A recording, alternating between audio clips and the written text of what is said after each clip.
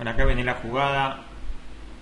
Abre la pelota, la agarra Kevin Ramírez, mete el centro y el diente López contra la pierna del arquero, coloca en el parque central y para todo el delirio del bolso, delirio de Tomás, mi amigo, 1 a 0, que me está filmando ahí todo lo, la hinchada ahí del bolso, 1 a 0 gana eh, Nacional el diente López.